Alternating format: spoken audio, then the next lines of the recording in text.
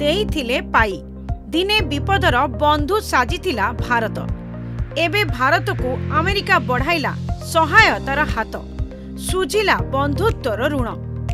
Corona ମହାମାରୀର ଆରମ୍ଭ ସମୟରେ ଆମେରିକାକୁ ସାହାଯ୍ୟ କରିଥିଲା ଭାରତ।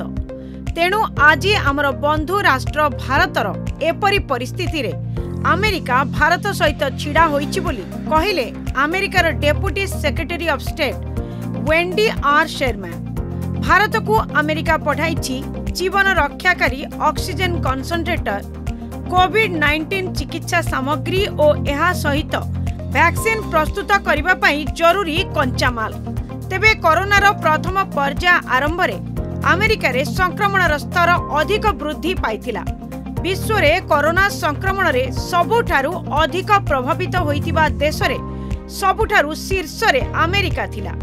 ସେହି ସମୟରେ ପ୍ରଧାନମନ୍ତ୍ରୀ ମୋଦିଙ୍କ ନେତୃତ୍ୱରେ ଭାରତ ତରଫରୁ ହାଇଡ୍ରୋ ଅକ୍ସି କ୍ଲୋରୋକୁଇନ୍ ବା ଏଚସିଏଲ୍ ପରି ଗୁରୁତ୍ୱପୂର୍ଣ୍ଣ ଡ୍ରଗ୍ସ ପଠାଯାଇଥିଲା ଯାହାକି ସେହି ସମୟରେ କରୋନା ସଂକ୍ରମଣକୁ କମ୍ କରିବାର କେବଳ ଗୋଟିଏ ମାତ୍ର ବିକଳ୍ପ ବୋଲି କୁହାଯାଉଥିଲା। ସେତେବେଳେ ଆମେରିକାର ପୂର୍ବତନ ରାଷ୍ଟ୍ରପତି ଟ୍ରମ୍ପ ଭାରତର ଏହି ସାହାଯ୍ୟ ପାଇଁ ତାଙ୍କ ଦେଶ ଋଣୀ ରହିବ ବୋଲି ମଧ୍ୟ କହିଥିଲେ। ବର୍ତ୍ତମାନ ଭାରତ କରୋନା ମହାମାରୀର ସବୁଠାରୁ ବଡ଼ ସଙ୍କଟାପନ୍ନ ପରିସ୍ଥିତି ଦେଇ ଗତି କରୁଛି। ନିକଟରେ ପ୍ରେସିଡେଣ୍ଟ ବାଇଡେନ୍ ମଧ୍ୟ ଭାରତର ପୂର୍ବ ସାହାଯ୍ୟ ପାଇଁ ଧନ୍ୟବାଦ ଦେଇଛନ୍ତି ଓ ଏହା ସହିତ ବର୍ତ୍ତମାନ ଭାରତକୁ ଏହି ସଙ୍କଟଜନକ ପରିସ୍ଥିତିରେ ସାହାଯ୍ୟ କରିବାକୁ ହାତ ବଢ଼ାଇଛନ୍ତି।